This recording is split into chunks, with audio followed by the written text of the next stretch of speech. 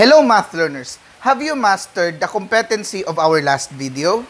If so, then you are ready to our topic for today. This is all about how to divide rational algebraic expression. But before anything else, hit the subscribe button and notification bell for you to be updated of the School Clear Math videos just like this.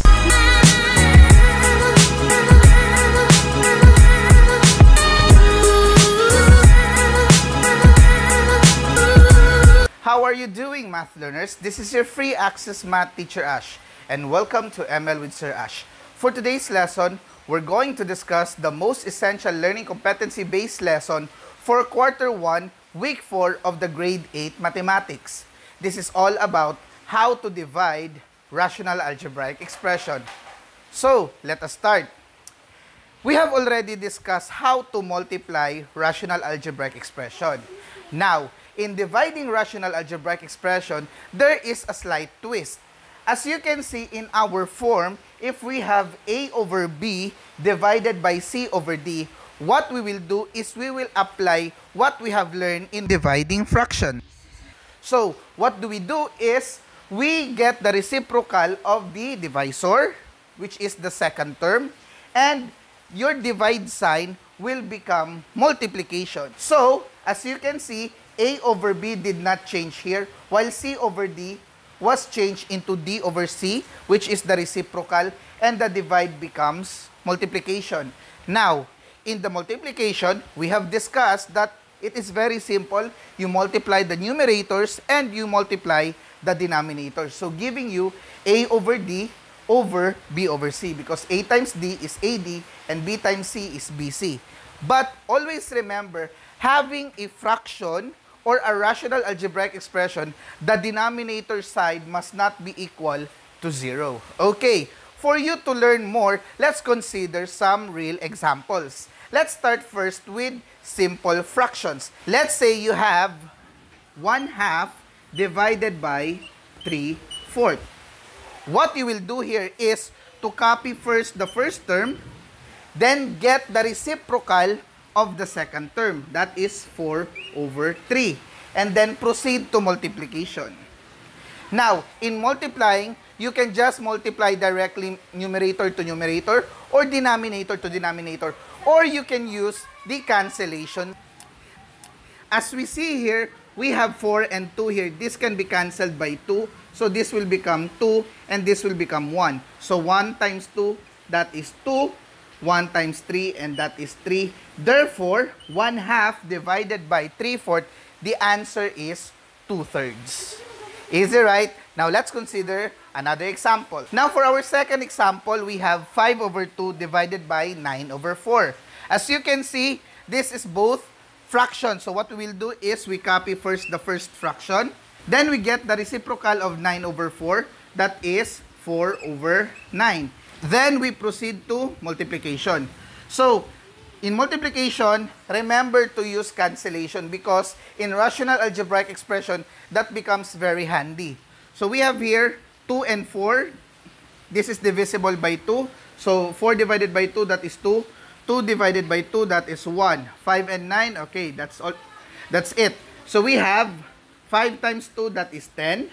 1 times 9, that is 9. Since this is an improper fraction, you could change that into a mixed number and that is 1 and 1 over 9. So if your answer is 10 over 9 or 1 and 1 over 9, you are still correct. Now, I hope you have now a strong foundation on how to divide fractions. Now, let us consider rational algebraic expressions. Okay, math learners, for our first discussion in dividing rational algebraic expression, we have here 6ab squared over 4cd divided by 9a squared b squared over 8c squared d squared. So what you will do first is you apply what you have learned earlier in dividing fractions. So you copy first the first fraction and then this divide will become times and then this one you will get the reciprocal. So that is 8c squared d squared over 9a squared b squared. Okay. Now, for this matter, you will just use the cancellation as much as possible for you to acquire the simplest form of your answer. Now, let's check. We have here 6 and 4. 6 and 4 can be divided by 2. So, this will become 3 and this will become 2. We also have here 8 and 9. So, there is no divisible by that. So, 8 and 9. Now, let's consider 8 and 2 here. So, 8 and 2 can be divided by 2. So, this will become 4. And this will become 1. You follow? Okay. Next, we have here 3 and 9. So, these are both divisible by 3. So, you divide this by 3, this will become 3. You divide this by 3, you have 1. Next is you will consider the numbers. Okay. So, 1 times 4, that is 4. 1 times 3, that is 3. Okay. So, you are through with the coefficients. Now, let's consider the variables. We have a here, and we have 2a's here, or a squared. That means 2a's. Okay. So, you will cancel the first a here, and the a here, leaving 1a. Okay. Then, we have here the b squared and the b squared. They are both the same, so you can cancel immediately leaving you no b at all. We have c squared here, we have c here, so there are two c's here, and we have one c here, so you can cancel them, but leaving one c. You follow? Okay, we have d squared here, we have d here, so we have 2d, we have 1d, you can cancel this, leaving 1d, canceling this, no d. Okay, now, you will consider the variables in the numerator and the variables in the denominator. So we have C and D. So that is for CD. We have here A. Okay. So therefore, your final answer is 4CD over 3A. Sounds easy, right? Okay, now let us go to an example in which you have binomials or trinomials in dividing rational algebraic expression. Okay, math learners, we are here in our final example, which is a trinomial numerator and denominator divided by a fraction with trinomials as numerator and denominators. So we have here 2x squared plus x minus x all over 2x squared plus 7x plus 5 divided by the fraction x squared minus 2x minus 8 over 2x squared minus 3x minus 20. Now, remember, the trinomial can only be cancelled by a trinomial if they are identical. Now, as we can see here, all of our trinomials in the numerator and in denominator doesn't have any identical um, expression. However, you can also use the factorization in which you will factor out the trinomial into two factors of binomials. And see to it, if there are identical factors in the numerator and in denominator, then you can cancel them. Okay. Now, the first thing you should do here is to apply the first rule in dividing fractions. So, what we will do is we will copy our first expression. That is 2x squared plus x minus 6 divided by 2x squared plus 7x plus 5. You multiply that one by the reciprocal of this fraction. So, we have 2x squared minus 3x minus 20 over x squared minus 2x minus 8. Now, if you can still remember our lesson in factoring general trinomials, what we will do here is we make two fact two quantities as factors. Okay, same goes to this denominator as well as our part here. Okay, next is you will factor this one. In factoring trinomials, see to it that you can factor first the first term, that is 2x squared. So what are the factors of 2x squared? That is 2x and x. Okay.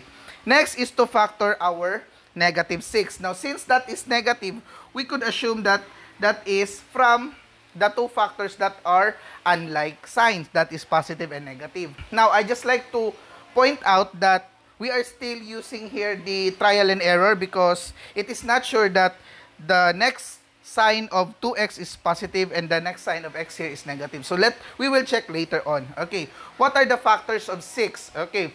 Factors of 6 are 6 and 1 and 2 and 3. Now let us consider 2 and 3 first. Okay. So if I will use positive 2 and negative 3, would that be a correct factor for our first trinomial. Okay. So, in order for us to check, what we will do here is we will multiply the inner terms and the outer terms.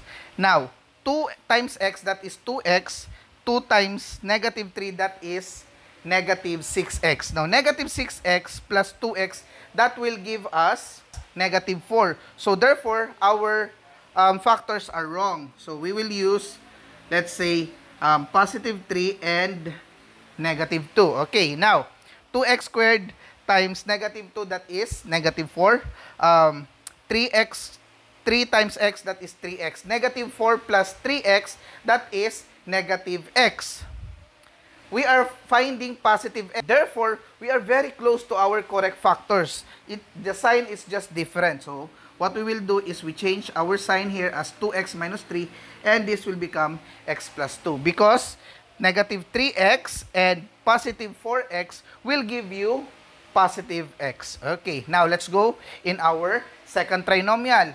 This is 2x squared. So that is 2x and x, alright? And then we factor our um, 5 here. Since both are positive, we could just use positive here. Okay, so let us consider this is positive 5 and positive 1. Now let's check whether we are correct. Okay, so 5 times x, that is 5x. 2x times 1, that is 2x. 5x and 2x will give us 7x. Therefore, we are correct. Okay, now let us proceed here. We have 2x squared again. So, we will just put 2x and x here. Then, we have negative 20. So, that means that is a combination of positive and negative. Okay, now, considering about 20, what are the factors of 20? We have 4 and 5. Okay, let's use 4 and 5. Okay, that is negative 4, ah, that is positive 4 and negative 5. Let's check first whether we are correct, okay? So, positive 4x and negative 10x. So, negative 10 and positive 4, negative 10 and positive 4, that will give us um, negative 6. We are finding negative 3, so meaning we are wrong. So, let's use this one is positive 5 and this one will be negative 4. Okay. Let's try again. 2x times negative 4, that is negative 8. 5x, okay? So, negative 8 and 5, we have negative 3. So, we are correct. Now, let us go to our final trinomial. This is very easy because if your coefficient for x squared is 1, then you can just immediately put x there. And then you factor this one such that those factor when added together, they will give you negative 2. And that is negative 4 and positive 2. Because if you multiply negative 4 times 2, that is negative 8. And if you add negative 4 to positive 2, that will give you negative 2. Okay. Now, we have now our factors for all of our trinomials. What we will do here is we will cancel the identical binomials in the numerator and in the denominator. Okay, so let us now cancel our identical binomials. We have here 2x minus 3. Okay, there is no 2x minus 3 in the denominator side. We have x plus 2. There is an x plus 2 here, so that will be cancelled. Alright? 2x plus 5. And we also have here 2x plus 5. So this also can be cancelled. We have here x minus 4 and we also have in our denominator x minus 4. So this will be cancelled. Now, what we will do is we will check what is left in the numerator and what is left in the denominator. So, we have 2x minus 3 in our numerator and we have x plus 1 in our denominator. Therefore, that will be our final answer. Easy, right? Okay. Just a quick recap. Remember that in dividing rational algebraic expression, you are just having the same technique as multiplying rational algebraic expression, except that the first term there is a twist in which you will change the sign of the divide into multiplication and then the second term take its reciprocal and then proceed to what you just learned in multiplying rational algebraic expression. Okay, and remember this, that as much as possible, you do use the factorization in order for you to cancel those binomials or trinomials or even monomials or factors that are identical to both the numerator and denominator. Okay, and now this is the time that I will challenge you whether you have understood our topic for today.